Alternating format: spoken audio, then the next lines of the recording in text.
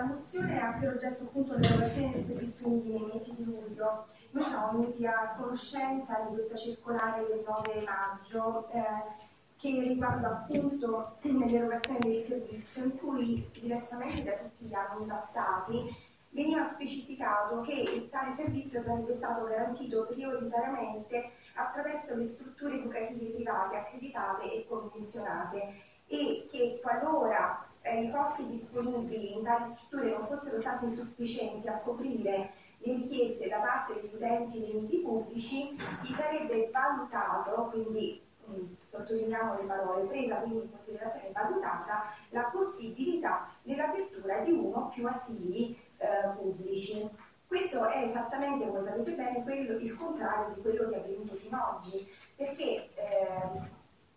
a monte i nostri uffici decidevano vero sì di chiudere alcuni uffici pubblici, ma semplicemente per il fatto che l'utenza nel mese di luglio è ridotta rispetto agli altri mesi, per cui anche in ottica di risparmio e di ottimizzazione delle risorse si decideva di lasciarne aperti in numero inferiore rispetto a quelli funzionati durante l'anno. E questo ovviamente è una scelta giusta da parte dell'amministrazione, non si era mai presa in considerazione la possibilità invece di eh, coprire questo bisogno di tutti i cittadini, delle famiglie, dei bimbi che comunque a luglio continuano a lavorare eh, servendosi dei nidi eh, convenzionati o privati. Eh, quindi al di là del fatto che eh, ci è risultata la lettura di questa circolare un'assoluta novità rispetto al passato, teniamo anche a sottolineare che questa circolare è arrivata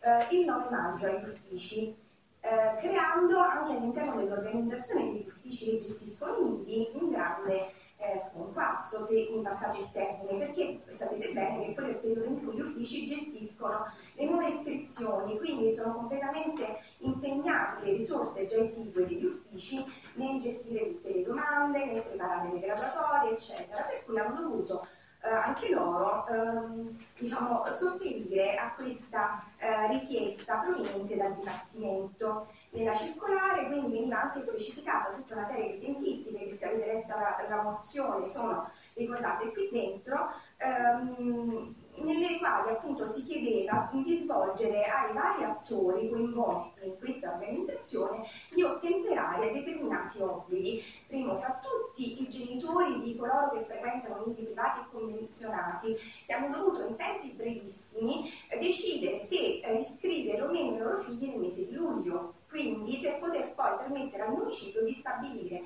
attraverso una tabella quali fossero i posti liberi e disponibili nelle stesse strutture da poter poi colmare con i provenienti dai nidi pubblici. Quindi il primo disagio per coloro che durante l'anno frequentano il nido privato, che di punto in bianco hanno dovuto decidere se lui aveva bisogno o meno di questo servizio, decidere se usufruirne per l'intero mese, per i primi 15 giorni, per i secondi giorni eh, o i secondi 15 giorni. Successivamente il municipio sulla base di questa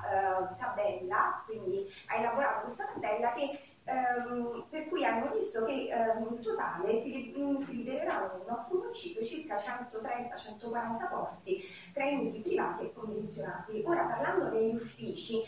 eh, mi hanno riferito che eh, fino all'anno scorso coloro che fanno richiesta del nel mese di luglio, eh, mi riferisco sempre agli utenti pubblici, sono circa il 50%, per cui se i nostri nidi più o meno eh, ricevono un'utenza di 600 bimbi, a luglio sono frequentati da circa 300,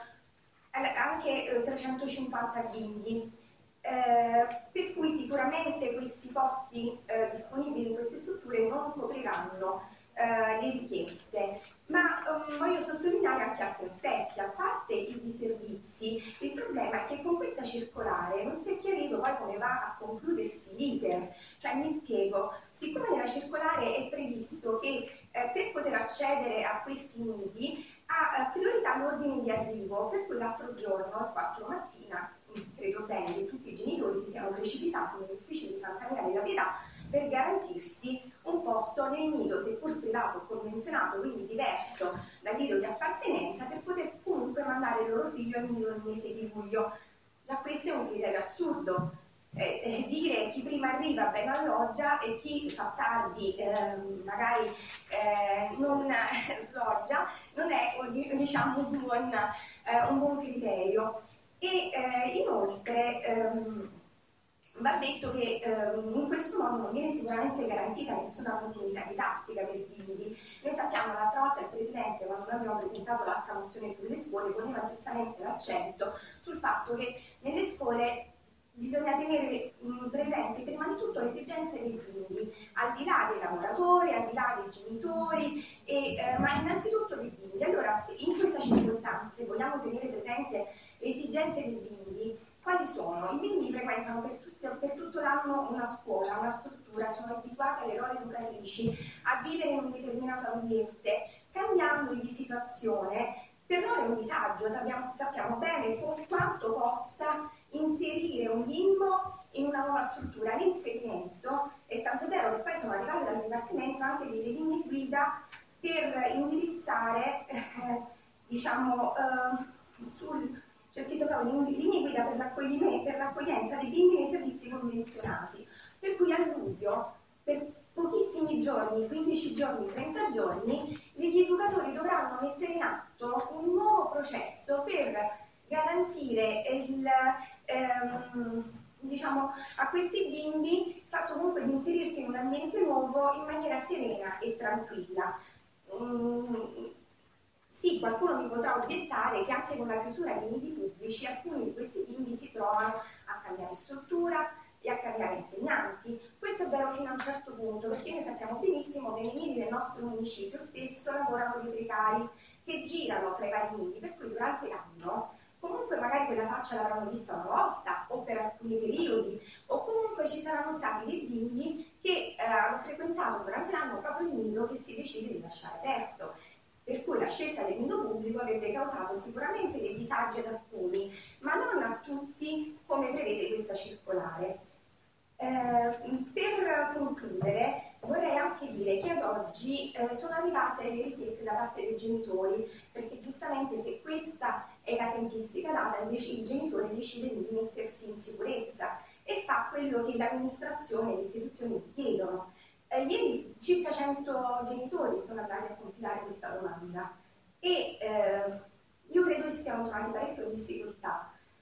perché eh, gli è stato anche detto in via ufficiosa, quindi non, eh, diciamo, nessuno gli ha dato una sicurezza che probabilmente, siccome di questi nidi privati convenzionati non coprono tutto l'intero territorio del municipio, ma ci sono delle zone completamente scoperte e in particolare la zona di Palmarola Ottavia credo anche la zona di Primavalle, si è detto per tranquillizzare questi genitori che in queste due zone eh, si sarebbe comunque pensato ad aprire i nidi pubblici. Però io mi, ho chiesto anche alle lavoratrici degli uffici come, avrebbe, come hanno pensato di lavorare queste eh, diciamo, iscrizioni. E ancora non lo sanno perché giustamente se la circolare dice che la priorità deve essere data a chi arriva prima, quindi chi ha il primo numeretto preso alle 6 del mattino, poi, se gli viene detto nello stesso tempo di mettere tra le preferenze anche un nido pubblico, perché probabilmente si prevede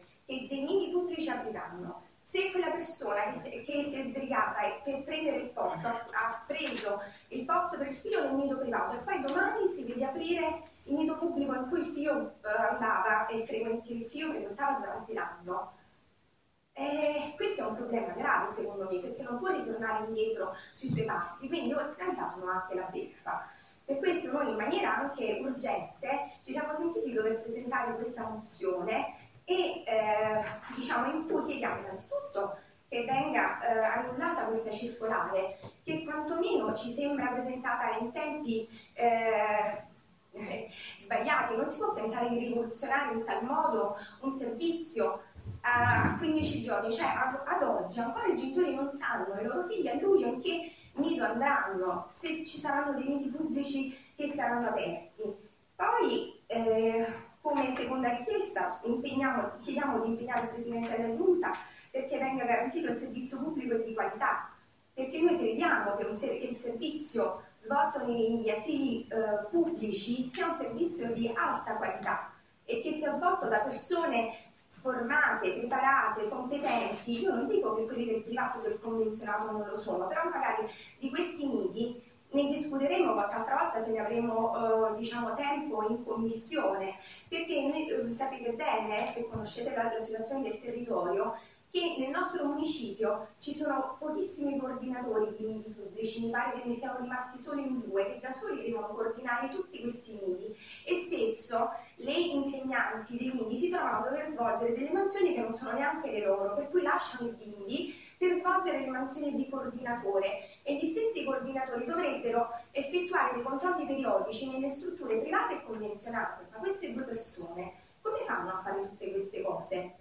Come fanno a vedere se funzionano bene le cose nel loro nido e anche a controllare che nei nidi privati e convenzionati sia garantito il rapporto bimbo-insegnante, eh, che i lavoratori di nidi privati e convenzionati lavorano il giusto numero delle ore o non lavorino più ore di quelle consentite. Comunque questo è un discorso a parte che esula dalla, dalla mozione ma che va anch'esso considerato. Ed infine, proprio perché